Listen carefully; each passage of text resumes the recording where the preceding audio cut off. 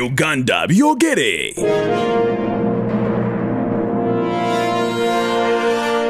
Bampa kikumi ku kikumi. Eh, kati olina iba wa kenzo? Eh, ndi neibawo kenzo. Kuba ne konzo naye ate yagula ye ye- ate kenzo ye mutaggamu naye yagula yiiko ba- baŋŋambye yiiko abiri mu ttaano. Ah, agenda kuzimbayo kifo kyafu kyakaliramu bannange olwo munsonyiwa olugambo Ah, kati era munange kiikyo toto kusonyiwa olugambo munsonyiwa olugambo omusajja osanga ebintu byabadde tagategeere naye nga kyekyo yasasudde buli yiika kashi miliyoni asatu asatu.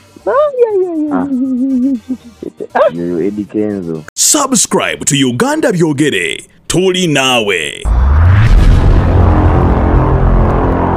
kale oli ku mukutu gwa uganda byogere nera gyesinzire okuba ti ng'otuwuliriza otugoberera nkubiriza subscribinga okusharinga commentinga saako nokunyisa omukutu gwa uganda byogere. Tugamba nti tulinaye mu buli mbeera ekola analysis okugatira ku nsonga kuvumbulira nsonga saako nokuwa emboozi esali za bulijjo. Nze kakalamu the answer. Abatulaba saako nabatugoberera amwe banyuma ddala okuba nga mutu- mutugoberera mu ngeri emu oba endala. Ddala okuba nga mbategeeza nti tuli wamu ne bannaffe aba b2 squared collection. Bale b squared collection egenda kweri brandinga by the way uh, anytime from now tujja kuba ate nga tubalangira business endala tugibaleetereko naye nga nayo yangoye amaduuka gali abiri kati. Eh, so nja kuba mbategeeza ekifo mm, wekinaabeera naye nga kiri mu bukoola.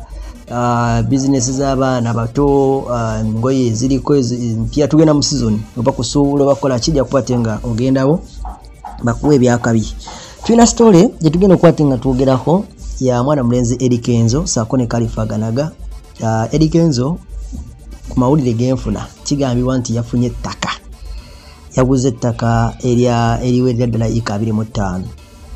Eh, ekifo ekimu ekisa- e- e- nga kya- kyakuzimbako kifo kisanyukirwamu bino no kalifa ganaga yabiŋŋamba oba infact ndowooza kansokemu kuwebuwirumu omuwulire. Kalifa yabaddeko ekanya ekanya ndomanyi sadi zesemuto waliyo yasooka najjayo ku mande. Kati yalinayo akavulu ku mande waliwo ba property agent ebiwaawo kanyanda. Abaita kalifa nga bagulawo ofiisi esemuto kalifa ne bamuwaayo ne poloti. Kati okwosa ejjo owulira? Nkuwulira. Ne bakomawo ne kalifa manager wa property agency bakomawo ekanyanda ku ofiisi enkulu.